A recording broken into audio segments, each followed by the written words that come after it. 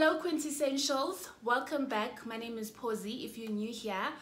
Um, this is my first upload in the new year. I know it's been a minute, but I'm back. Today I'm going to be talking about how to write a winning tender proposal. You are an entrepreneur, you're a small business owner, you're a big business owner, you want to expand, you want to get more business, it's part of your goals for 2021, and you want to figure out how you can get into that system and find a way that will help you to reach more um, corporate clients, reach government clients, because generally in South Africa, that's how business is advertised through these tender processes. Stay tuned as I give you the ins and outs to help you write that winning tender proposal. The first thing that you need to think about when you are applying for a tender is your sector. What sector are you in? Are you in ICT? Are you in marketing? What is the industry that you are in? And then obviously you will look for tenders and specify your search to meet that specific um, area of expertise. So in South Africa, we have portals online and tenders are also advertised via newspapers. So what you need to be doing, um, if you don't have internet access, is buying you know your sunday newspapers or your daily newspapers to see what tenders are out there and are they linked to your area of expertise and then in addition to searching um, newspapers so it can be you know a physical print paper or you can go the online route and see what you can find online on the various um, news platforms the other option is to go on tender bulletins. So there is something called satenders.co.za where all of the tenders are usually advertised for every sector. There's a platform also known as online tenders.co.za. So they also advertise available and new tenders. But I know that some of the, the SA, SA tenders is free, but online tenders is you have to pay a subscription fee. But depending on your budget and what's available and your income your revenue streams then you will decide how far you want to go and how much do you want to pay. Personally i don't really recommend paying for finding out what tender proposals are out there because usually they are duplicated on the various websites. The government website in south africa also has a bulletin board where you can check the latest available tenders and they are uploaded daily weekly monthly. So you need to make sure that you know you're checking that personally what i usually do is i check every monday or so you need to have a, a day in the week where you sit and you sift through and you look at what are the tenders that are out there i'm a public relations specialist so I will look at all the tenders that are available for digital marketing, for PR, for communications, the whole works, website, etc. And if I see that there's anything relevant, then I need to obviously make a list and see which ones do I think are most suited for our agency and which ones I'm willing to pass up. With tenders, you have to be conscious of the fact that even though it might be sector specific and it might be in your area of expertise, it might not necessarily be something that you want to be going for. So you need to have those goals in mind when you are actually doing your search that this is what the service that I want to offer, this is my skill, and you know that you can actually offer that skill, or you have a team or consultants or a network that can you can outsource the work to and make sure that you deliver good quality work when the time comes to submit. So first and foremost, you need to check um, the tender bulletins, check the deadline, that's the most important. Most tenders have a tender briefing session and if you miss the tender briefing session, then your tender will not be considered, particularly for government tenders. You need to check and see the tender briefing date and time because when you do arrive, you will be required to sign you know, a form of attendance, to sign the register to say that you were there, you understood the brief, and you were clear that you need to be checking when you are working on your tender is to check the tender briefing, the date, and the time. Assign a junior, an administrator, you can go yourself to that um, tender briefing and ensure that your company is represented and that your name is actually recorded in the register. Usually what they will do is give you a receipt and provide that receipt um, when you are actually um, submitting your tender. So if you don't have that proof to say that you were at the tender briefing, your submission will be null and void from the beginning. So it's very important to check that. And also, it's important to check the address and know where the tender briefing is taking place. Be prepared, you know, to drive out and make the necessary arrangements because you will find that you live in Johannesburg, the tender is in Pretoria, is there enough time, etc., etc. Because if you're late, you may also not be able to enter the venue after a specific time that has been scheduled for that particular briefing. It's all about being punctual, it's all about attention to detail. This seems like minor, it seems like a minor obvious detail. It is very important that you check the tender briefing details from the get-go. The next thing that you will need to do most importantly is to read the template. So in South Africa we have what we call SBD forms, so that's standard bidding documents. Most government contracts have a similar style or a template of how you know they want your tenders to be filled. And so you are declaring whether you've had any work with a particular organization or a government department. You need to declare your BEE status. You need to declare um, your your pricing schedule and then in that you also have to write a very tight proposal that will set you apart from other competitors. So the SBD forms are pretty lengthy. The SBD forms can be tedious and if you do fill them in incorrectly, you will automatically be disqualified. So if you miss a certain section, if you don't sign a certain page, if you don't check every single item on that particular document, you could lose out. One of the main important points of actually filling out a tender document or writing a tender proposal is that you need to pay attention to detail and you need to give yourself time to actually go through the, the, the document and see what is required. I've learned from experience that if you try and work through a document lastminute.com then you start to see things that you didn't see before. You need time to go through the document, you need time to peruse and understand and see what is required because you find that you will have questions about a specific um, topic in the actual document.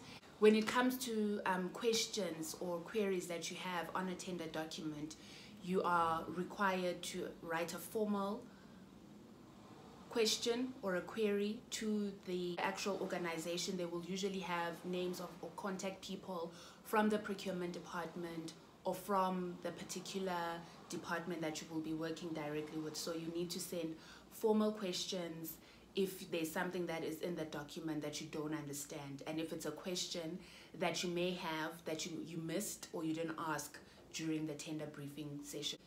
What I would recommend is you download the document before the tender briefing um, session, read through it, just skim through it, and if you have questions, write them down so that you can ask the, the client, you can ask the procurement department if there's something that you are not clear of, but they do provide an opportunity to submit questions if there's something that you are not clear about. But those the queries and the questions that you can submit are also they have a deadline so if you miss the deadline and you don't send your questions then there's nobody that's going to be able to assist you to answer those questions avoid avoid doing your tender documents the day before, the night before. I've done it.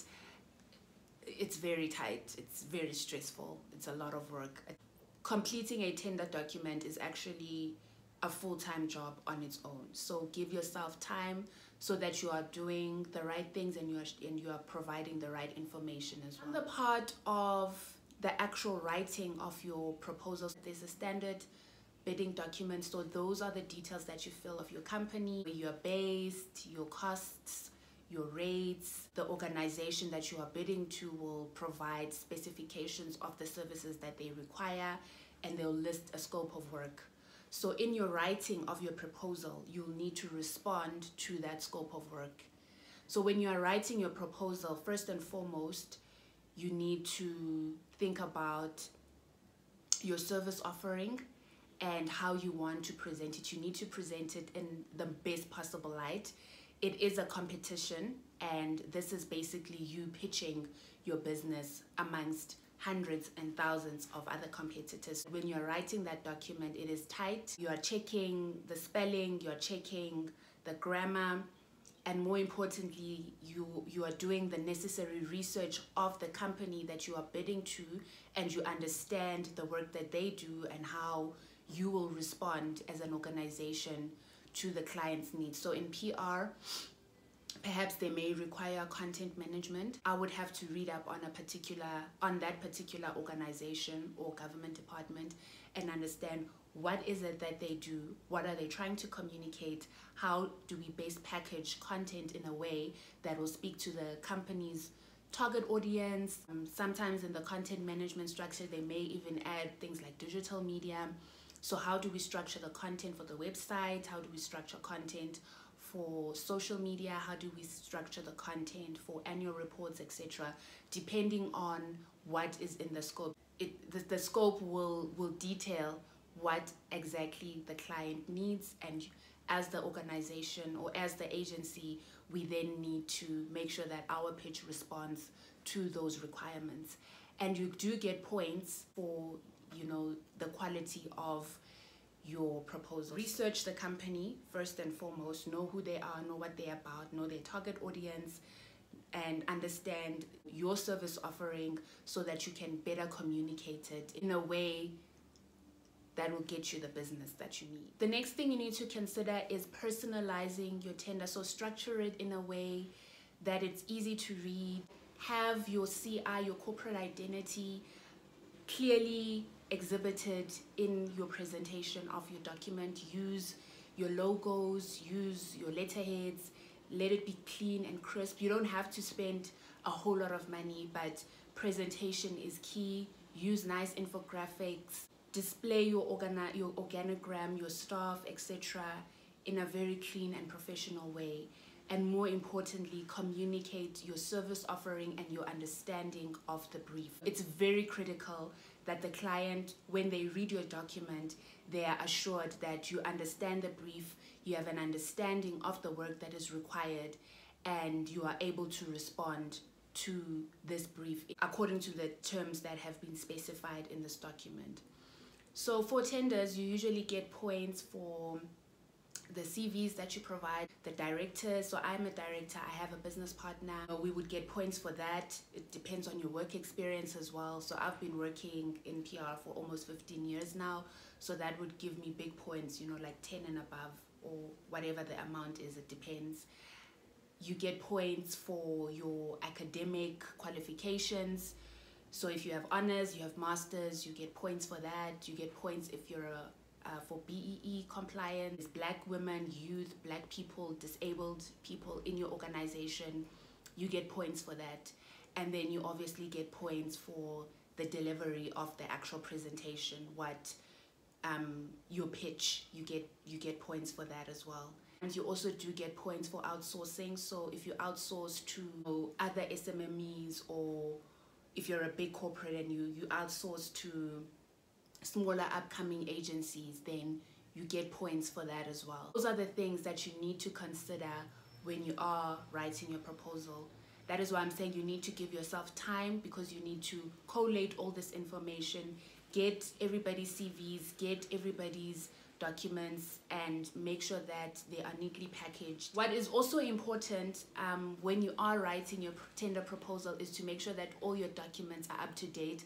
I've had so many times, and I know it's bad planning, where you are getting ready to submit a tender and you just realize that, oh my word, my tax certificate has expired or my BEE um, certificate has expired. Now you have to be running around and trying to get all those documents up to date. So initially, while you are still preparing for the writing process, check all your documents. So make sure that your BEE certificates are up to date they have to be renewed every year.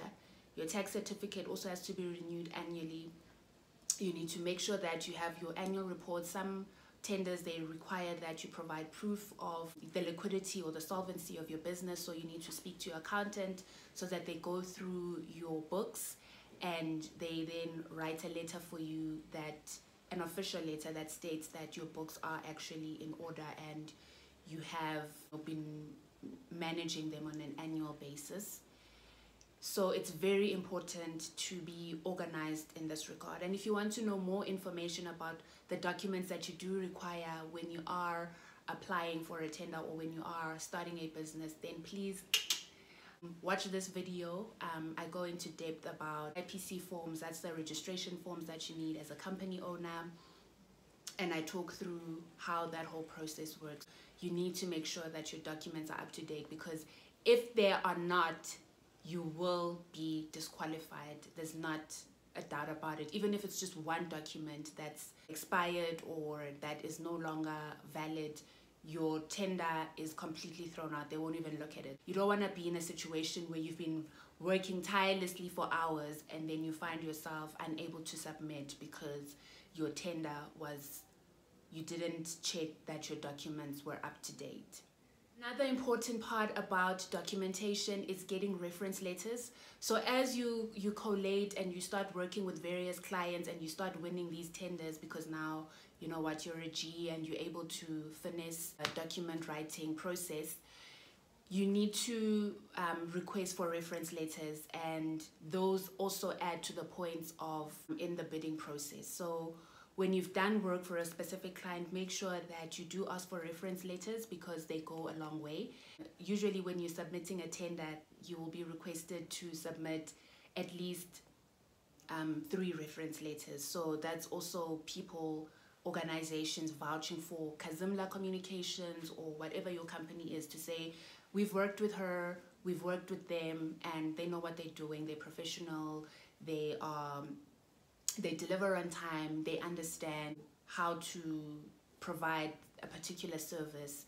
So it's very important that you have those reference letters and always make sure that when you've done a job for a client that you asked for them and let that letter be on a company letterhead and signed by you know in my case it would be the director of communications or whoever senior is or the person you were reporting to for that particular project let them sign it, whether it's electronic or however, but make sure you have those reference letters because you will need them. Once you have checked um, all your documentations, you've got all your reference letters, then what is key is to proofread, proofread, proofread, proofread, proofread your tender proposal from start to finish. Usually it is quite a long document, so you need to make sure that you have edited it properly. Like I mentioned earlier, the spelling, the grammar, everything needs to be in order.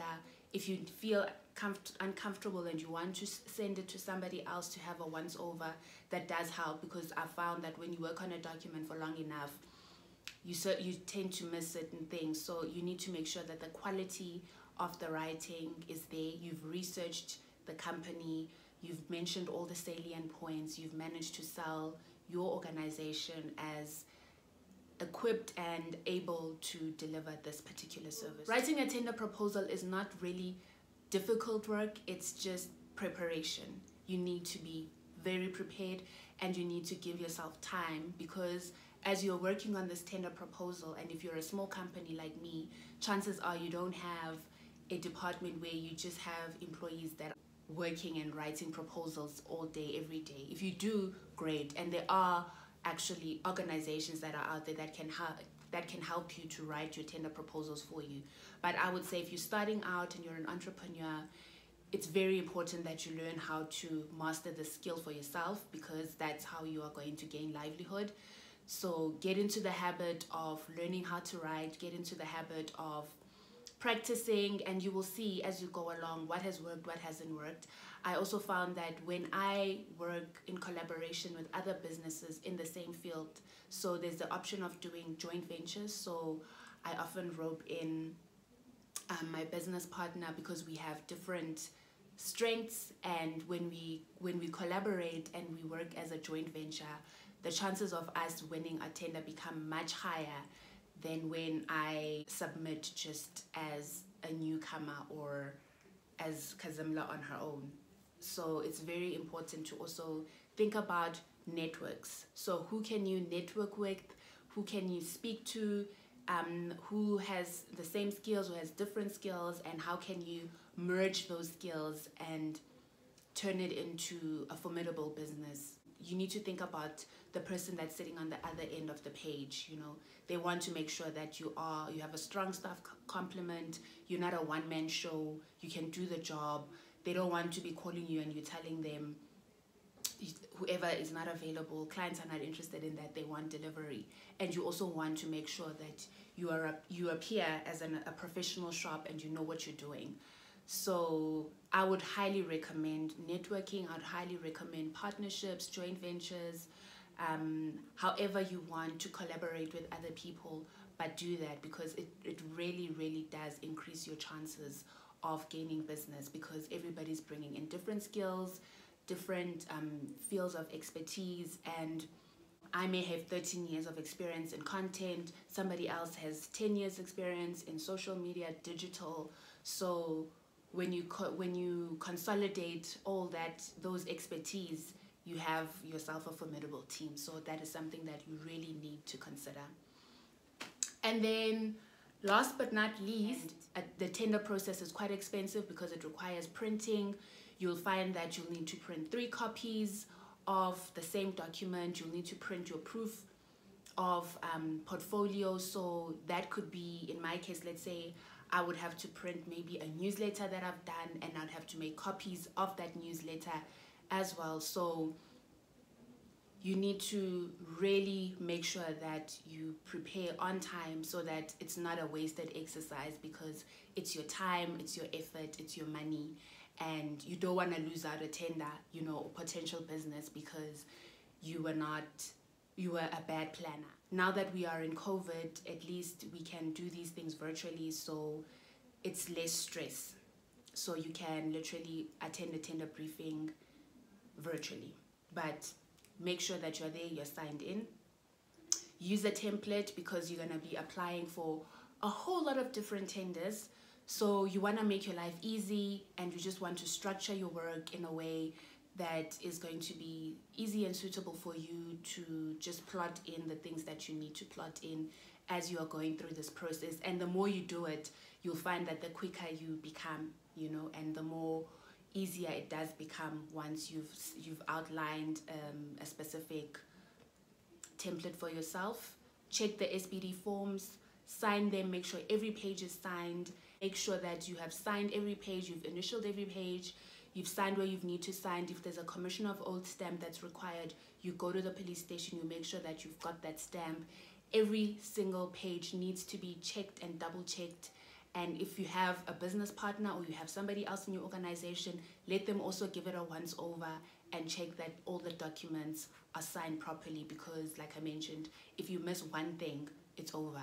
You're not even going to be quali- you're not going to be you're going to disqualify yourself automatically. Make sure that all your company documents are up to date. So your CIPC form, your registration form, your BEE certificate, your tax tax clearance certificate. Make sure that everything is up to date, nothing has expired, whatever's expired, get the process going while you're still doing the actual writing of the proposal. And then when it comes to the actual writing of the proposal, do the research, understand the organization that you are pitching to, and make sure that you clearly stipulate your understanding of the scope of work that is required and make sure that your writing is clean, it's professional, and you speak to the points that are you speak to the points that have been outlined in the tender document and understand that this is your pitch, this is competition, so this is what is going to literally get you the job. And then also make sure that you get reference letters from your former or your former or your current clients because this will also add to your points and boost your chances of winning a tender. Last but not least, please, please, please submit on time. Check the deadline. Set your alarm. Do whatever it needs you need to do. If you need, if you know that the tender document needs to be slotted in in a in a in an office that is in another city. Like I live in Joburg, I mentioned earlier, and you have to drive to Pretoria. Give yourself enough time to drive there, to park, to put your tender uh, envelope in the, the tender document in on time because the, the deadlines are usually very early. It's usually like 10, between 10 and 12. So if you know that you're going to be driving out in this traffic, then prepare accordingly and if it's going to be online they are also going to see that it was submitted at whatever time. So same principle applies there as well. That's writing a tender proposal. It ain't nothing to it. You can do it.